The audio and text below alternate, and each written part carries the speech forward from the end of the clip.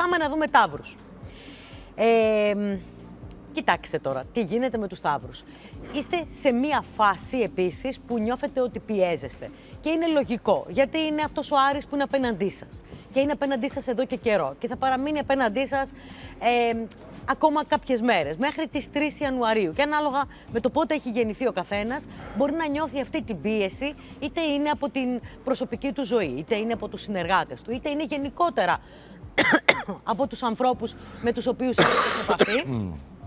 Καταλαβαίνετε λοιπόν ότι ναι, δεν είναι ονειρικές οι συνθήκες τι οποίες καλείστε να εργαστείτε ή καλείστε γενικότερα να βγάλετε την καθημερινότητά σας, αλλά μην κολλάτε στο τι, τι μπορεί να συμβαίνει αυτή τη στιγμή. Θέλω να πω ότι δεν, επειδή είναι τα πράγματα έτσι τώρα, δεν σημαίνει ότι θα είναι έτσι και σε ένα μήνα από τώρα.